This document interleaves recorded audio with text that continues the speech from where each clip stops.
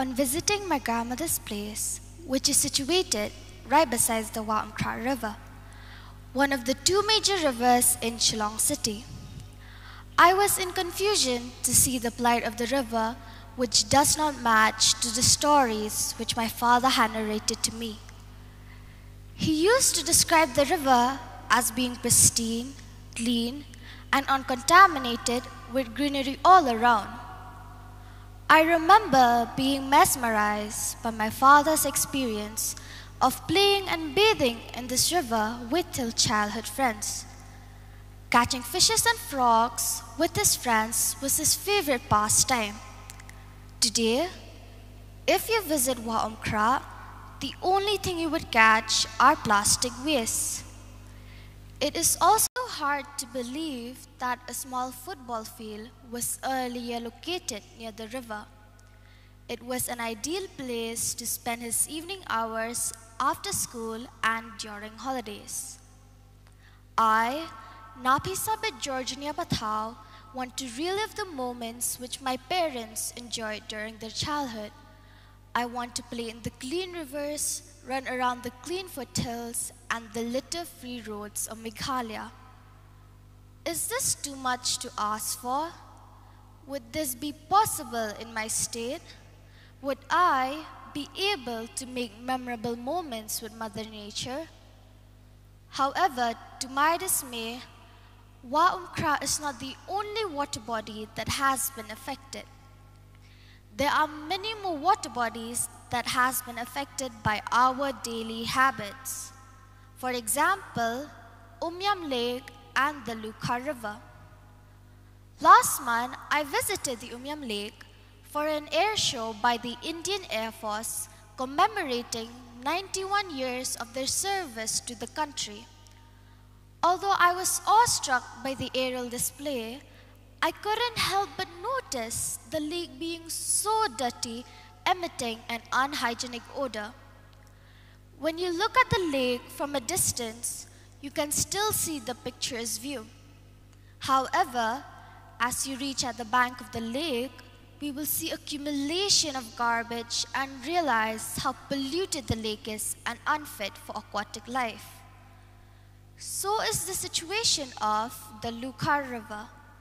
Located in the southern part of East Jaintia Hills of Meghalaya, where most of Meghalaya rat hole mines are located, has become a victim of the unsustainable large-scale mining of coal and limestone responsible for the pollution that turns the river into its surreal winter hue. I wonder if we still have clean water bodies in our state. While doing my research on this, I found out that one of India's cleanest rivers, which is also an important fishing spot for local fishermen, is located at Dauki village in Meghalaya. The river is known as Wah Umngot or Wah Dauki. Wouldn't it be amazing if every river in Meghalaya can be like Wah Umngot? A video of the Umngot River has been circulating over the internet in which a boat seems to be floating in midair due to its clear and pristine water. It seems like a magnificent experience. I'm yet to take a trip to this river with my family. However, I did not stop searching for answers as to why Umngot River is so clean. The reason is that the river, which stretches to about 82 kilometers, does not pass through any human settlement. On that note, can we conclude then that no humans equals to no pollution? Sadly, the saying, man is the worst creation of God rings true to this topic. Major contributor of water pollution is man. Human activities in our state such as household discharge, agricultural runoff containing pesticides and fertilizers, Sewage disposal and oil spills introduce contaminants into water bodies. Are we ignorant of the outcome of our misdeeds? For further understanding, improper waste disposal such as littering from car washing centers, eateries, and factories, also contribute to its pollution. The accumulation of microplastics and heavy metals from various sources further degrades water quality.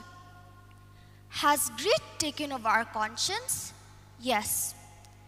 In the case of the once mighty Waumkra River, land reclamation by some of the landlords around the area had affected the source of water, thus reducing the amount of water flow into the river itself.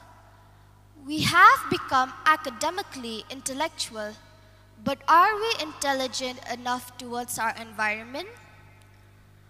I want to share an incident with you. On my visit to the cleanest village in Asia, Mawlynnong, the tourists who were walking in front of us were enjoying their snacks. However, instead of disposing their waste properly, they were throwing the wrappers all around. To my utter surprise, I noticed children from the village picking up the garbage, which I quietly appreciated.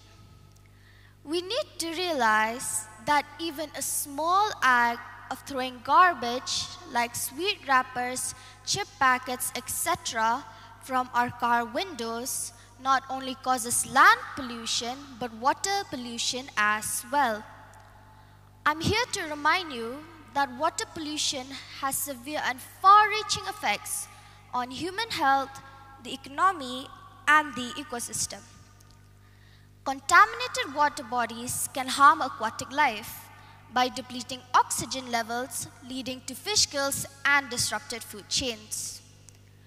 There was a time when people used to indulge themselves in angling activities in our clean and pristine rivers.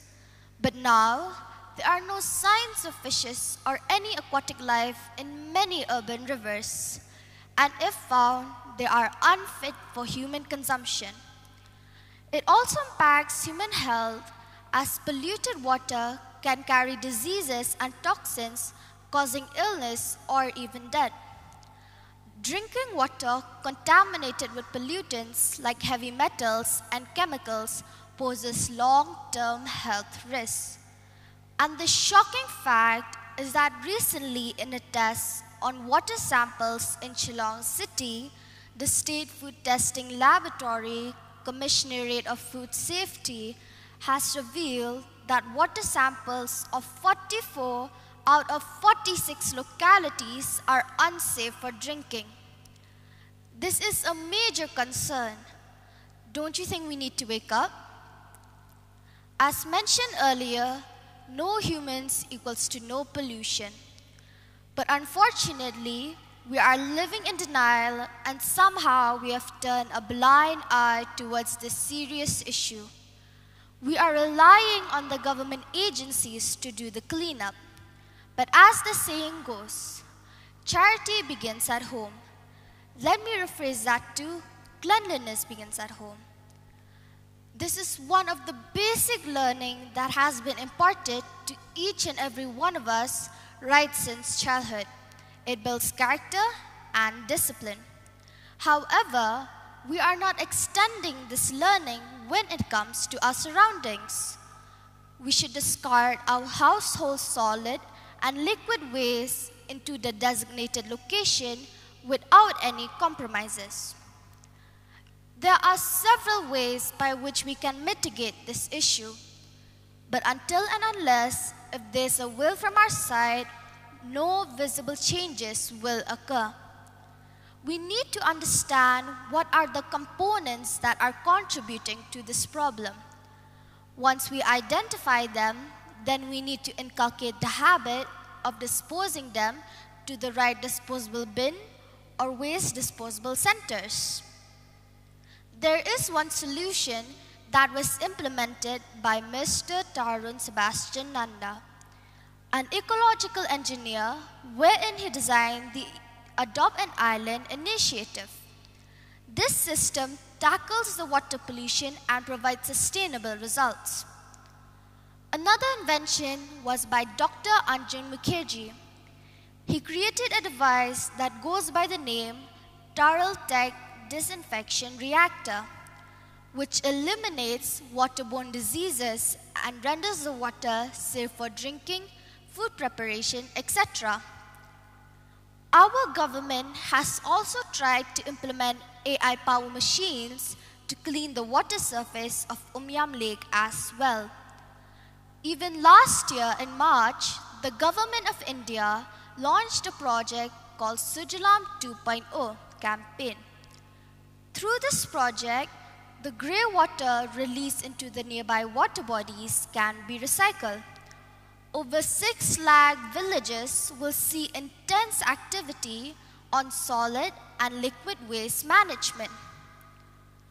When I look around and put serious thoughts, I do not think any scientific or AI based solutions alone can tackle the problem. Because the basic problem, as much as we are in denial, is lack of civic sense.